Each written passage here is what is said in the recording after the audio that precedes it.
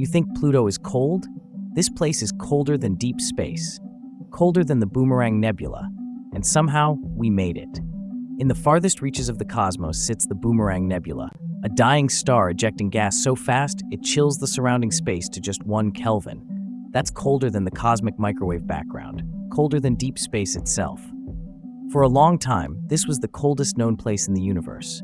Until Earth said, Hold my beer. In a lab on Earth, scientists used lasers to trap and freeze atoms. Yes, lasers. By firing them from all directions, they stopped atoms from moving, slowing them down to less than a billionth of a degree above absolute zero.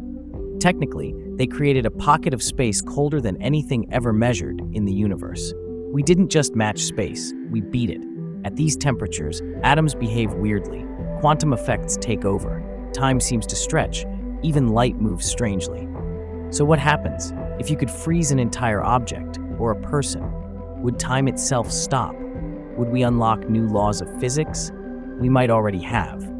Comment. That's terrifying. And if you want the full breakdown on what happens when we freeze the universe itself, the full video is now live on Beyond Light Years.